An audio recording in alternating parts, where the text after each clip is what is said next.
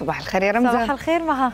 رمزة إحنا دائما يعني بنتسوق وبنشتري لكن في طرق معينة نقدر من خلالها إننا نحقق فائدة إضافية آه، عبر التسوق. أقدر أستفيد من تسوقي هذا اللي دائما بيخسرني؟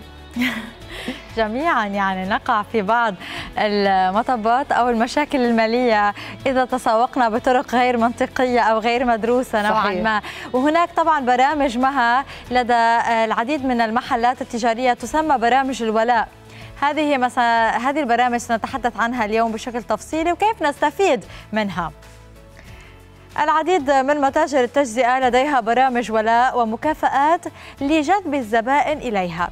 هذه البرامج تمكن الفرد من جمع نقاط من خلال التسوق لدى تلك المتاجر. وبعد فترة معينة وجمع عدد معين من النقاط يمكن استخدامها في الحصول على خصومات أو شراء بضائع معينة مجانا.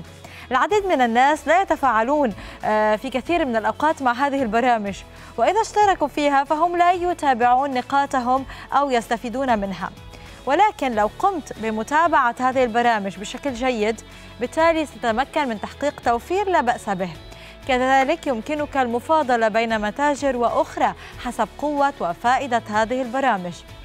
خصوصا المتاجر التي دائما ما نتسوق منها لشراء احتياجات المنزل الشهرية.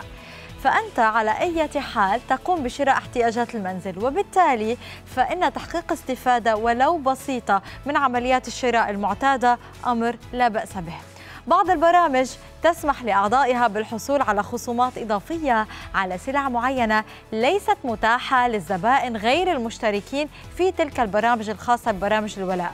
وهنا ستحصل على توفير إضافي يساهم في تحقيق تحقيقها لأهداف التوفير الشهرية التي تحاول أن تصل إليها وأن تقوم بتوفير ربما بعض المبالغ المالية من خلال المصروفات الشهرية. صحيح هذا الموضوع مهم أيضا نهى أكيد أكيد يا رمزة ودائما يعني كان زمان الموضوع بكروت يكون عندك كرت معين للمحل لكن الآن صار في عن طريق ابلكيشن أو تطبيق تطبيقات على الموبايل على الموبايل لأنه صحيح. عاده ما كنا ننسى صحيح. هذه البطاقات. أو نهمل يعني الالتفات صحيح. إليها ومتابعة نقاط معينة ضمن برامج الولاء لكن يجب أن نلتفت إليها أكثر في هذه أكيد. المرحلة معك حق رمزة شكرا جزيلا